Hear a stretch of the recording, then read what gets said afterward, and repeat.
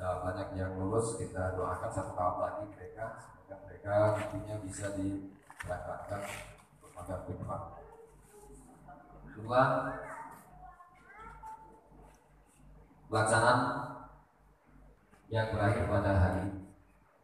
Jumlah peserta pelatihan menjahit setiap tahap berjumlah 20 orang, sehingga secara keseluruhan berjumlah 60 orang.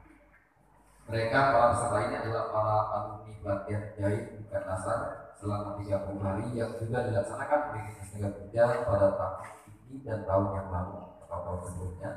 Atau para peserta ini adalah mereka yang telah memiliki usaha menjahit, tetapi mereka-mereka ini belum memiliki mesin jahit yang memadai. Oleh karena itu, dan selanjutnya langsung dibekali keterampilan mengolah pupuk dari ubi kayu menjadi kuliner yang siap dipasarkan. Saat ini bagi upaya pengentasan pengangguran di Kota Bengkulu. Dalam hal ini kami sampaikan kepada Bapak Wakil Wali Kota dalam hal ini diwakili TNI bahwa sejak masa pemerintahan Pak Helmi sebagai Wali Kota Bengkulu, angka pengangguran di Kota Bengkulu ini alhamdulillah terus mengalami penurunan. Sebagaimana kami laporkan juga yang Pak Wali Kota sebelumnya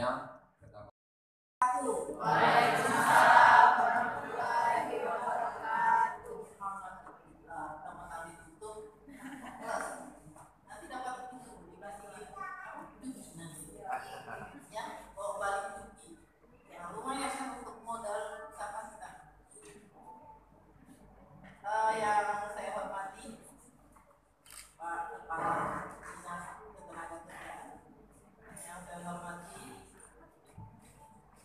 uh, eselon pejabat eselon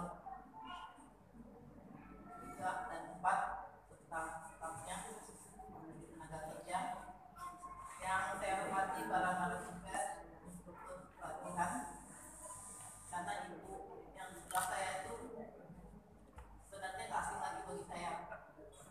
Karena saya dulu pernah menjabat kabin pendidikan luar sekolah. Jadi ibu namanya tidak terus Ibu Rosela ini dulu membuka LKP lembaga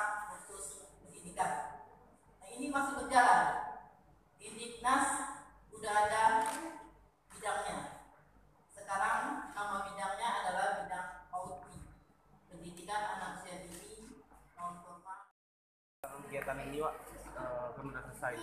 Gimana Pak ke depan untuk para peserta yang jumlahnya dulu Pak?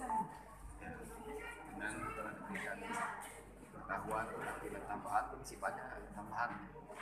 Sebenarnya mereka sudah punya dasar mau menjahit dan sudah mendapatkan tambahan pengetahuan keterampilan. Kita bantu juga mesin jahit. Harapan kita nanti para peserta ini bisa mandiri bisa membuka usaha dan jika perlu mereka merekrut jika betul-betul tujuan dari dinas tenaga kerja ini tercapai. Menuntaskan pengangguran Jadi, baik mereka sendiri dan mereka nanti akan merekrut para Ibu, ini kembali mewakili wali kota pesannya gimana Bu dari Pak Wali? Kalau dari pemerintah ini sangat positif sekali kegiatan ini ya depannya lebih ditingkatkan lagi.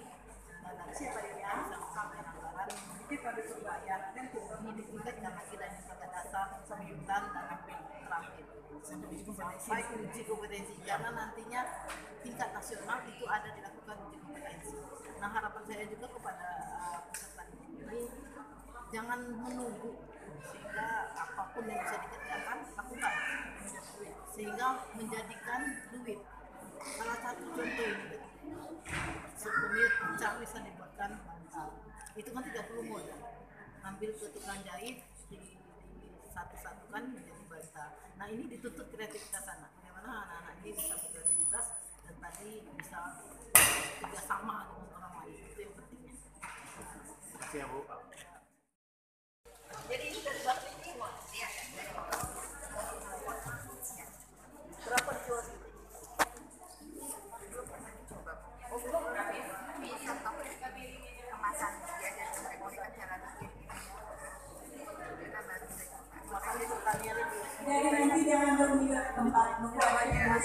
Wang.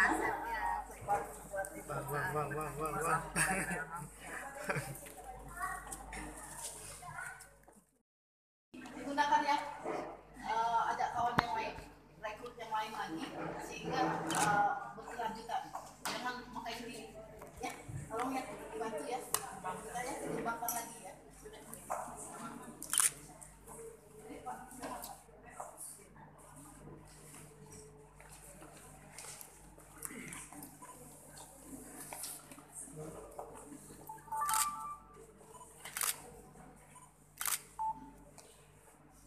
Oke Pak, mantap.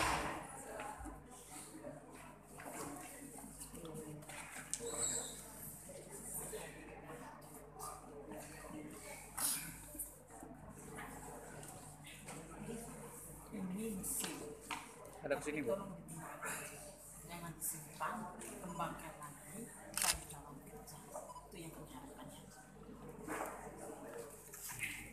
Ada ke sini Bu.